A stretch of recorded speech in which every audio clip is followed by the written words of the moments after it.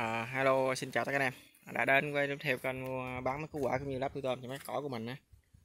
Thì uh, hôm nay cũng uh, tạm rồi là gánh gỏi đi. Tại vì dịch uh, nguyên vật liệu của mình nó cũng hết để mình làm đồ cho anh em đồ này kia đó.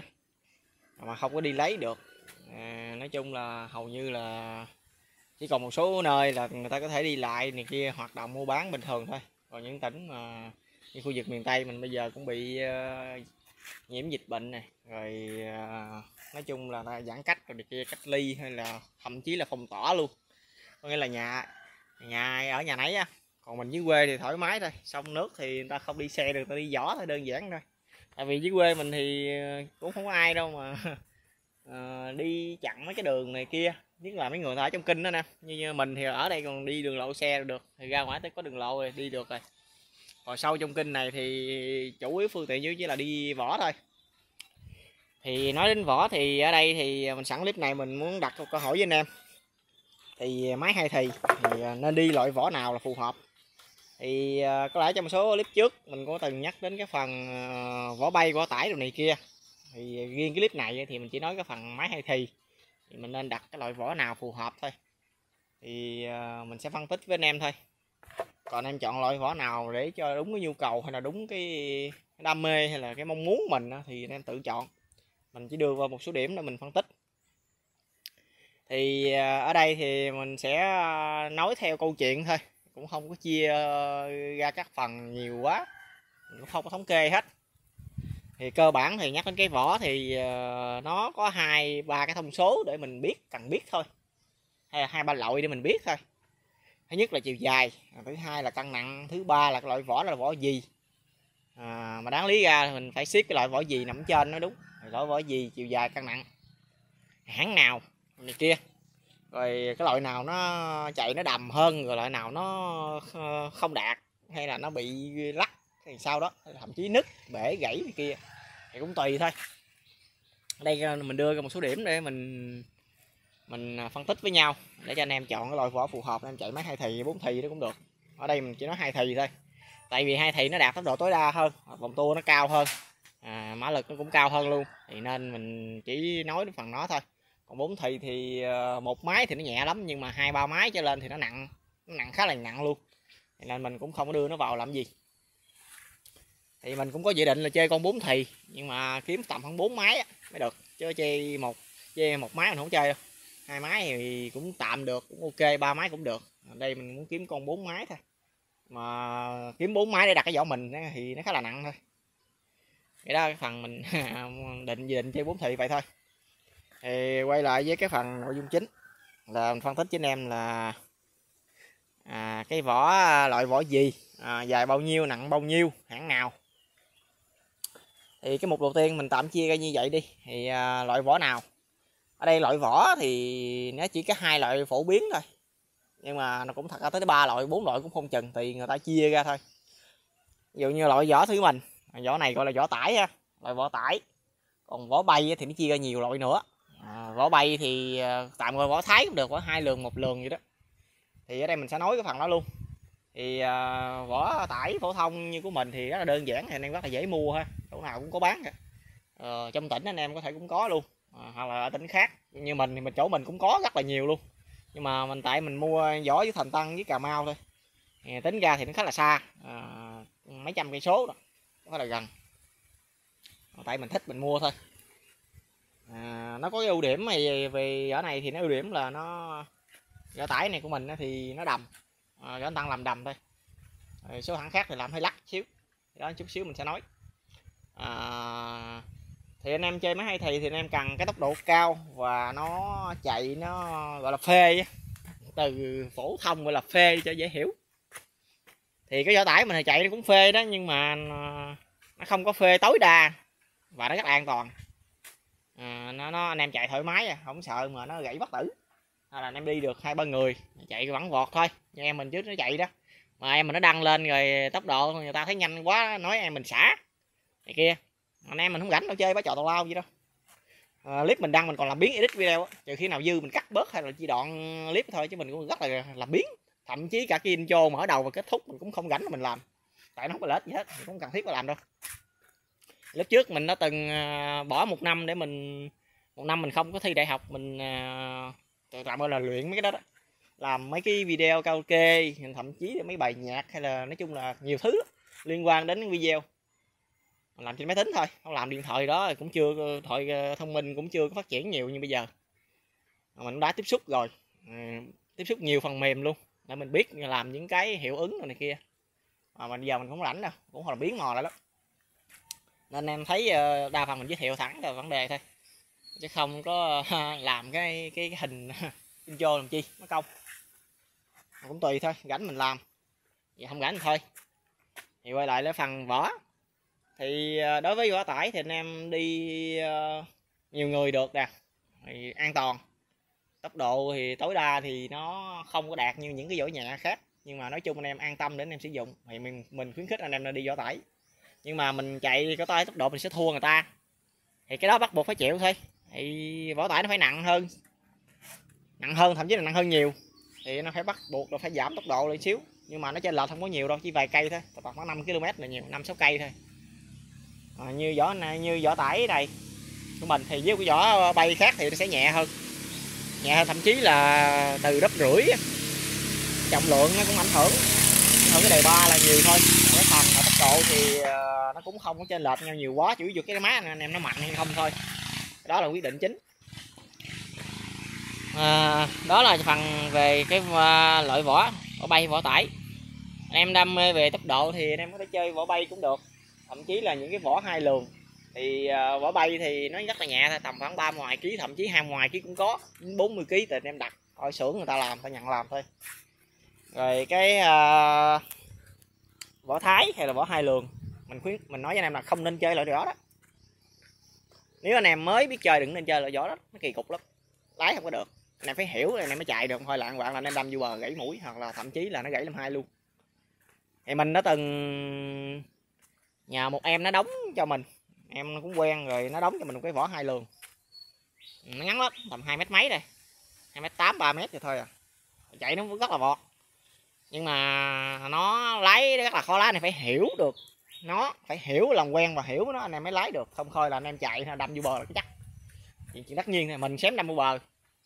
Thì à, sau những cái lần mà mình vật tới vật lui để mình làm quen thì cũng hiểu nguyên lý nó để mình lái thôi thì nó không phải bẻ bằng bằng cái tay lái của cái máy. Mà anh em bẻ bằng cái độ nghiêng của cái của, của cái người anh em á. Anh em nghiêng người bên nào thì sẽ bẻ bên đó thôi. Tại vì nó hai lường thì nó, nó trắng mấy cái gốc uh, ờ, đằng sau này nè. Nó không có bo như kiểu này. Nên cái gốc nó gốc đứng là gốc đứng như gì nè. Để đem lái á, nó không ăn nước liền nó không có bo này luôn. Cái này dùng để anh em bẻ lái nó ăn hơn nữa nè. Nó tránh bị bị tạt úp đồ này kia cái này cái vỏ này là vỏ bình thường nên nó làm những cái cái cái kỹ thuật cái, cái tiêu chuẩn của nó riêng. Còn cái vỏ hai lường đó là nó khác. Anh em không thể nào áp dụng những cái cách lái bình thường anh em mà vô cái vỏ đó được. Nó không phải như vậy. Thì mình có trải qua rồi mình biết. Anh em đừng không nên chơi cái loại vỏ đó. Hoặc là nếu như anh em ờ, đó là chơi những cái loại vỏ mà nguyên bản có nghĩa là nó đã như vậy rồi. Còn những loại vỏ là độ chế độ chế nghĩa là sao? Nghĩa là anh em mua vỏ tải hay vỏ bay thứ ừ, như vậy. Anh em về anh em độ lại mà cắt cắt cho thành hai lường để cho nó, nó bỏ nước á. Cho nên đừng có đừng có đập. Thì cái vỏ hai lường thì chạy rất là đầm nhưng mà không phải nó, nó gọi là nó đầm mà là nó nhịp nó nhịp nhanh nó nhịp rất là ít chứ không phải là nó không nhịp nha. Nhịp ít thôi. Nó đập đập đập, đập hơi gì nè. Còn vỏ à, tải nó đập mạnh vậy nè. Do một lường á nói chung á. Thì cái độ đập của cái vỏ thì nó nó cũng đặt chân cho tốc độ giọt luôn. Thì anh em chạy càng giọt nó đập mới giữ nhưng mà cũng tùy cái cách mà mình chỉnh cái lường lại cho nó phù hợp nữa. Chỉnh cái lường này rất là quan trọng nha.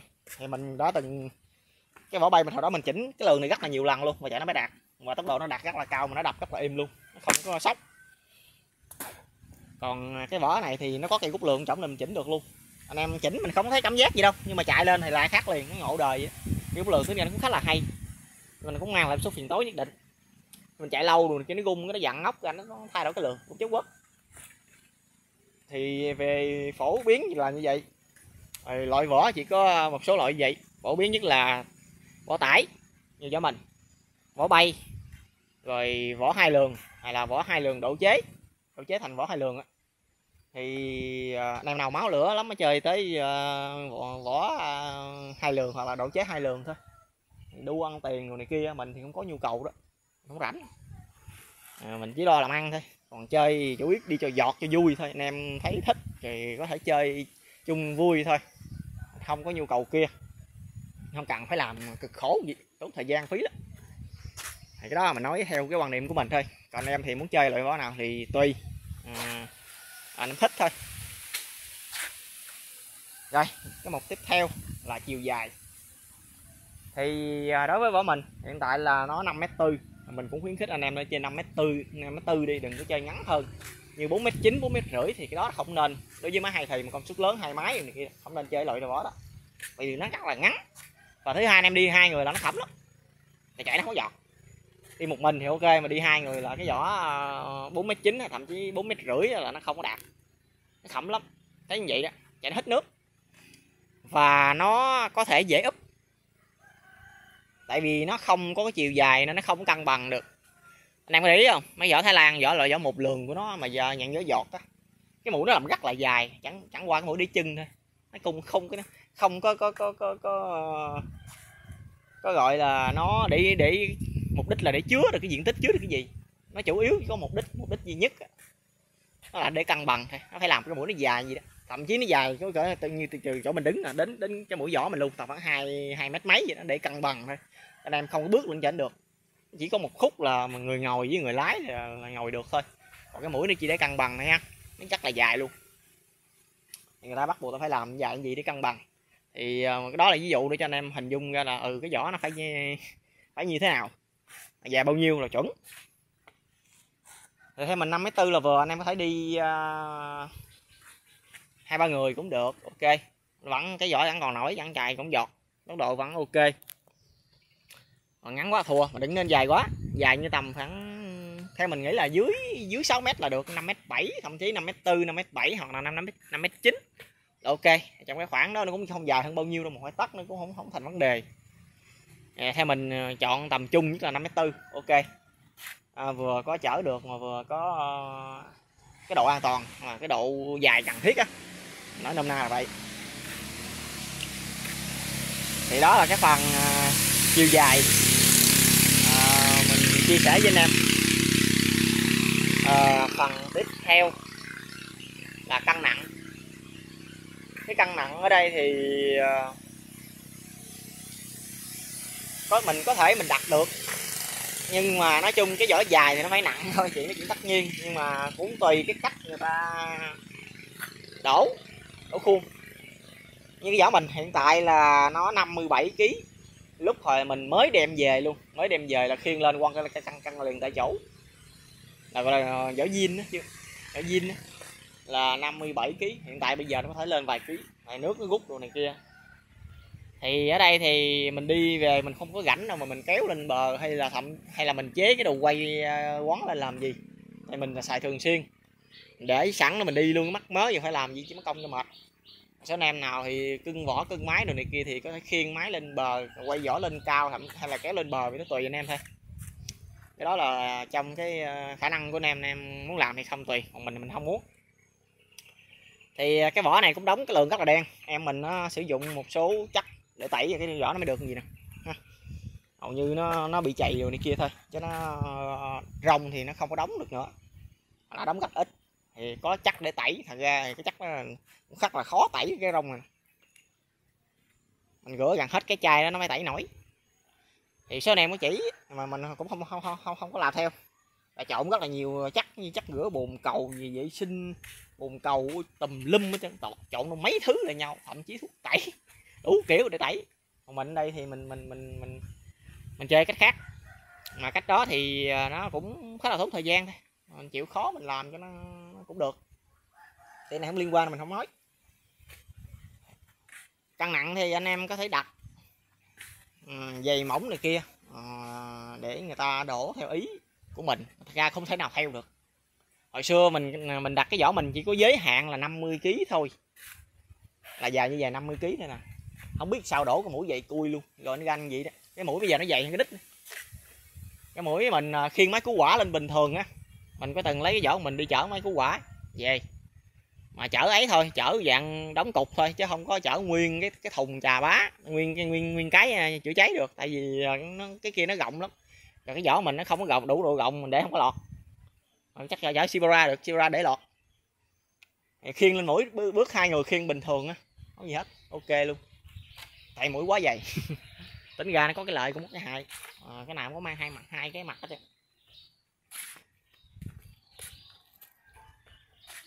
Thì à, khi anh em đặt cái à, vỏ theo yêu cầu thì à, thật ra chủ xưởng cũng không thể nào đáp ứng cho anh em được đâu. Nó nằm trong cái khoảng dao động thôi chứ không thể nào mà chính xác được. Người ta cũng không rảnh đâu mà ừ lắp một hên người ta căng cho anh em nó không có đâu dễ gì. Người ta làm rất là nhiều vỏ khác nhau thời gian nào làm ba chuyện vớ vẩn gì người ta chỉ làm đại gì thôi ừ thấy mỏng mỏng gì chắc nhẹ đó à, cho anh em thôi. Hoặc là thấy ừ dày dày chắc được rồi đó. Là nghĩ trong trong khoảng cái khối lượng mà vậy thôi không thể nào ta căng cho anh em đâu. Thì mình cũng bị rồi.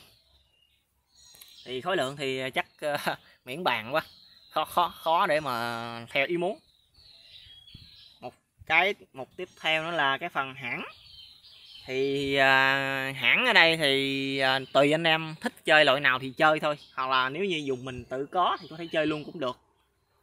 Thì bây giờ trên mạng thì có vài hãng nổi tiếng. Thì chắc anh em chơi võ cũng biết rồi rồi à, chủ yếu là dùng cà mau thôi. Đây vùng đó là sông nước thì chủ tôi đi võ là nhiều thôi không phải như vùng của mình. Mình cũng có một ít thôi không phải là phương tiện chủ yếu đâu. À, trừ khi là ta ở trong kinh như nãy mình nói đó. Nó cần võ hay xuồng để chạy thôi. Hiện tại dưới cà mau thì khá là nhiều hãng nổi tiếng. Thì do người ta đăng lên nổi tiếng thôi chứ cũng không phải sự nổi tiếng từ tự bản thân người ta nổi tiếng. Do mình thôi mình truyền thông ra nó mới nổi tiếng. Ví dụ như anh em à, thấy mình chạy gì? À, cái anh em hỏi ừ anh chơi võ gì với anh? Thì mình nói thạch tăng ừ anh em cứ kiếm thạch tăng anh em chơi. Ừ thấy mình chạy giọt gì đó. Anh em anh em kiếm liền. Thì nó nổi tiếng là vậy đó. Chứ đâu có gì đâu. Thì uh, khu vực cà mau thì rất nhiều loại hãng nổi tiếng rồi. Thành tăng hữu vui hữu tính. Gọi gì nữa ta? Mình không biết hết nổi. Biết uh, vài hãng cơ bản thôi còn uh, bên kiên giang thì uh, mép gần cạnh mình thì có võ hiếu toàn nè. Thì hiếu toàn cũng có bán vỏ bay luôn vỏ tải vỏ hiếu toàn thì nó cũng giống gần giống vỏ mình gần giống vỏ thành tân mà cái mũi nó nó cốc ngắt nó ngóc cao hơn và công nó to hơn. Cái công bề cao cũng công nó cao hơn gấp đôi luôn dữ lắm nó cao luôn. Vỏ nó chạy cũng được giọt ok. Nhưng mà nó có một cái à, cái dở là cái băng ngồi làm quá nhỏ. Mình ngồi nó có chút xíu à nó có chút xíu vậy em ngồi nó bị đau đít đó. rất là khó chịu. Cái đó là cái dở mà mình thấy à, dễ nhận biết nhất còn cái băng ngồi thành tăng thì to hơn. Nhưng mà về độ cứng cáp mình thấy vỏ của hiếu toàn như cứng cáp hơn vỏ này. Vỏ kia thì à, mình thấy cái phần người ta làm nhìn chung nhìn tổng thể là thấy cứng cáp hơn. Nó vẫn vỏ tải giống mình chạy thì cũng vọt. Khá là vọt luôn. À, nó ít đập. Ít đập nhưng mà nó vọt nha chứ không phải là đập nhiều là vọt vọt nhiều nhưng mà tại tùy cái cái giới hạn người ta thiết kế thôi. Tại vỏ mình nó không vọt ờ, đập ít là do cái mũi nó nặng nó nặng nó chì xuống. Tới nó đập được nó đập dữ lắm đập luôn. Giống như kiểu vỏ bay đó. Vỏ bay thì à, nó à, nó nhẹ cái mũi nó rất là nhẹ. Hầu như cái mũi chỉ để chân thôi chứ không làm gì được. Bước từ phân từ nữa cái vỏ gì đằng sau lái thôi cho anh em bước uh, bước uh, trên mũi là không được nó lủng chắc không ai mà vô ý gì đâu xài mình phải biết. Thì đó là mấy cái mục cơ bản mà mình à, nắm được mình chia sẻ với anh em để anh em lựa chọn phù hợp với cái máy hay thì. Thì cái đặc trưng của máy hay thì thì nó nhiều cái.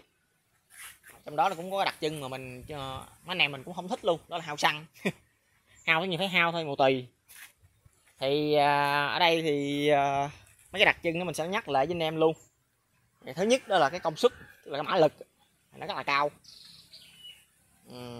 thường thường nó cao từ gấp đôi rưỡi đến gấp đôi nếu như cùng một cái phân khối luôn. Từ gấp rưỡi đến gấp đôi. Thứ hai là cái vòng tua nó cao luôn, cao cũng từ gấp rưỡi đến gấp đôi cũng có. Tùy tùy máy. Thứ ba là cái tiếng nổ. Tiếng nổ thì tất nhiên phải đặt chân nó không thể nào mà lắng vào đâu được. Hai thì là hai thì, chứ tiếng không thể nào giống bốn thì được. Và tiếng máy bốn thì không thể nào giống hai thì được, trừ khi chỉnh dư xăng nó nổ bạch bạch bạch, giống như, chỉnh giống như hai thì được luôn á. Tại vì mình có từng chơi con máy cắt cỏ bốn thì mình chỉnh dư xăng quá là nổ trang hai thì luôn. Nhưng mà nó không có gắt bằng. À, lý do là nó cái khối nó cháy cháy rồi chứ không phải là nó cháy rồi mà nó thải liền. Nó thải liền thì nó tiếng nó mới gắt thôi. Thì cái đó là như vậy. Thì cái đặc trưng nó những cái đặc trưng như vậy. Rồi đặc trưng nữa là hao xăng. Hồi nãy như mình nói đó, thì tất nhiên phải hao xăng hơn. Thì ở đây mình nói là cái máy bún thì thì nó quay cái trục nó quay hai lần. Tức là cái dên á quay hai lần, tức là hai vòng thì nó mới sinh công một lần. Còn máy hay thì thì một vòng là nó sinh công một lần. Nên độ hao xăng sẽ hao hơn. Đó là cái lý do tại sao công suất nó lại lớn hơn là như vậy. Nếu như cùng một cái ờ, cái phân khối. Thì cơ bản chỉ ờ, vậy thôi. Những phần mình cũng muốn chia sẻ với anh em, để anh em có cái để anh em ờ, nhận dạng ra được, để mình chọn loại hình cho nó phù hợp thì ờ, nhiều anh em thì nhầm khi mua vỏ mà nó không giữ ý nữa. À, đặt kiểu này làm kiểu nọ này kia. Hay là mình lỡ mình lỡ vô tình mình đặt mà cái cái chiều dài đó hay là cái gì đó nó không có đáp ứng được với cái nhu cầu của mình. À, mình cũng khá là bực bội. Thì ban đầu thì vỏ này mình mua thì mình không hài lòng ở cái ức nó quá to. Ức này ức nhọn. Nhưng mà suy đi nghĩ lại thì cuối cùng nó cũng có mang lại cái lợi ích khác. Thì mình chạy thì nó đầm ít đập. Và cái vỏ mình ít lắc lắc nha. Còn cái vỏ ờ, của hũ vui đã lắc kinh lắm. Tại bạn mình có mua rồi mua trước mình xíu à. Mua trước mình được tầm khoảng à, chắc tháng hơn tháng mình cũng không nhớ chính xác tại nó nó lấy xe tải nó đi tới tới xưởng hũ vui nó lấy về luôn đặt xong nó chạy xuống dưới nó lấy luôn. Vậy rất là kỹ. À, để tránh va chạm đồ này kia đó. À, à, trong quá trình theo vận chuyển ship đồ này kia đó. Thì nó xuống nó lấy cho chắc. Mình đặt sau thì vỏ của bạn mình thì nó nhẹ 50 kg thôi. Có căng rồi. Thì à, tại vì nó có gửi trong nhà mình á mình rảnh rỗi không à, làm chuyện rảnh hơi rảnh rùi á. Lách sách cái căng khoan cái vỏ lên căng luôn. Ừ 50 kg 50 cho 50 vậy đó 50 kg mấy vậy hay căng vỏ thử lắm nó nặng bao nhiêu. Để đón đón thì nhìn bằng mắt nói gì chất quốc. À, bưng thì biết nặng mà phải căng mới cho chắc. Có số liệu mình mới nói chuyện được. Chứ đón phỏng phỏng đón đón mà à, mình nhắc lại phỏng phỏng đón đón mình có nói vụ này khá là vui. Và là cực kỳ vui luôn chứ không phải là vui. À, có số anh em cũng chế máy ra chạy. Anh em nói ừ máy tôi chạy chắc cũng cỡ bảy chục. Hỏi à, đo bằng cái gì à, anh? Anh đo bằng app nào? Đo bằng điện thoại hay đo bằng à, GPS đeo tay hay là cái Google ở trong cái à, Google Maps? Anh em nói à, là mình đón thôi. Đón đón cho nó hơn ta. Đón cái con số cho nó bự hơn ta đó. Chắc à, chắc bữa nào mình phải thử vụ đó coi. Ừ mình nói, mình chạy gì nó, mình đón chắc hơn trăm à có thể anh em có thể tin, không biết. Chứ chạy thấy mình thấy mình thấy cho người ta gửi clip cho mình coi, chứ chạy thấy không đi đâu chừng mà nói sáu bảy chục không à. anh nghe mình ớn quá. Mà chạy cái máy thì, máy bốn thì mà nghe tiếng thấy không nhanh, chứ sao chạy nhanh được vậy thì tin tin nổi không? Bởi vì mình không có cãi cái chuyện đó. Ai ai làm gì làm, chạy bằng miệng mà ai đâu chạy lại. Mình kéo ngàn chết, mình chạy được bảy tầm bảy chục, bảy mấy à thấy lại vợ nó đập dưới lắm rồi. Rồi lái rất là mệt, mà anh em chạy phải ru à. Mà thấy cái phe ru mà chạy tốc độ nghe tám chục, tám mấy, tám lăm không? 13 độ thái là toàn tám mấy không?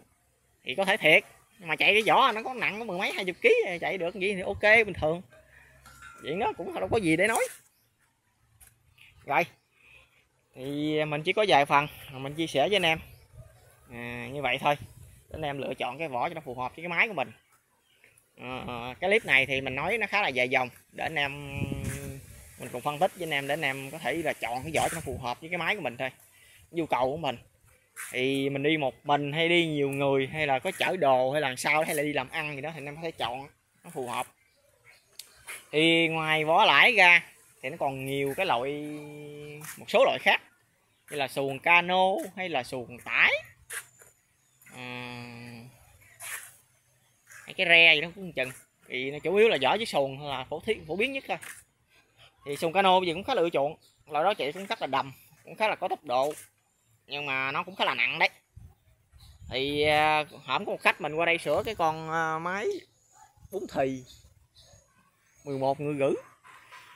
Thì cái ảnh nói cái sồn anh mua à, nó nặng 55 kg cái sồn nó nặng, nó dài chỉ có 4 mét thôi nha. 4 mét 4 mét rưỡi gì đó. Thấy cũng khá là ngắn này. Nó nặng tới 55 kg này. tức là nó đổ gắt lại dày luôn. Nó còn hai kg nó bằng vỏ mình trong khi cái vỏ mình nặng 5 mét tư, vỏ nó có 4 4 mét hay 4 mét rưỡi mình quên. Ủa 4 mét à? 3 mét 9 chứ. Ừ đúng rồi 3 mét 9 mà nặng 55 kg nha anh em. À, biết cái biết cái xuồng cano nó vậy cỡ nào rồi? Mà chạy thì mình thấy cũng được lắm ok lắm. Đó nó đạt. Đạt về thành tốc độ. Rồi thì lay quay phân tích thì cũng khá là, dài. Thì hy vọng là anh em ờ, có thể xem cái clip của mình xong mình có thể chọn được một cái loại ờ, vỏ hay là xong cano hay là mấy cái nào đó phù hợp à, với cái máy của mình như nhu cầu của mình ha thì à, mình xin à, kết thúc clip mình tại đây ha. À, xin chào và hẹn gặp lại anh em à, trong các clip tiếp theo.